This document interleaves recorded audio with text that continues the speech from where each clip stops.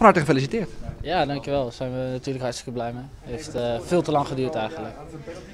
Ja, uh, want hier snakten jullie naar hè? Ja, de groep die was hier echt naar op zoek. we hebben natuurlijk de afgelopen periode hartstikke hard gewerkt. En telkens bleef die beloning uit. En de druk kwam er steeds meer op te staan. En dan is dit natuurlijk wel hartstikke welkom.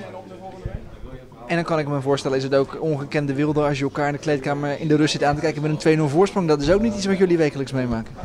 Nee, absoluut. Kijk, uh, vorige week de tweede helft hebben we uh, bepaald voetbal gespeeld. En dat wilden we vandaag vanaf de eerste minuut doen. En uh, als dat dan de eerste helft op deze manier uitkomt, dan ben je er natuurlijk hartstikke blij mee. Ja, ik kan me voorstellen, je kunt jezelf dat voornemen, maar dan moet het ook een ontzettend lekker gevoel zijn als het in de praktijk werkt. Ja, nee, absoluut. We zaten er overal kort op en uh, echt kansen hebben ze niet gecreëerd. En uh, dan is dat hartstikke fijn als je met uh, rust ook gescoord hebt en dat je dan zo lekker in de rust kan zitten. Ja. Dus ben je eigenlijk nooit in de problemen, ziet het comfortabel uit allemaal. Verbaasde jou dat het in dat opzicht redelijk gemakkelijk leek te gaan?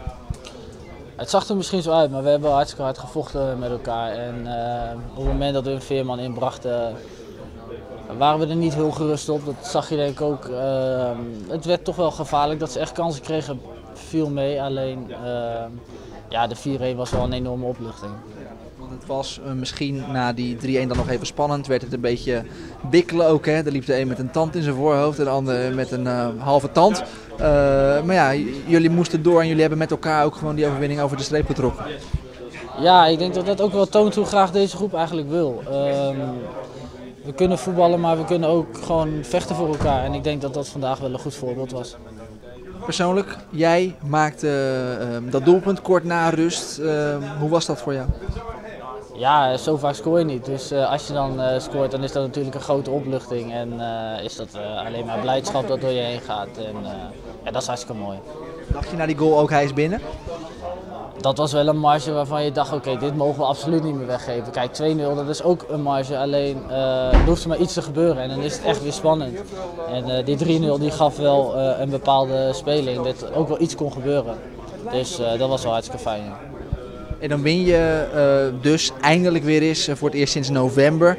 Ja, wat, wat, wat betekent dat voor jullie? Ja, het betekent dat je er drie punten bij krijgt, maar wat betekent dat ook verder richting de slotfase van dit seizoen?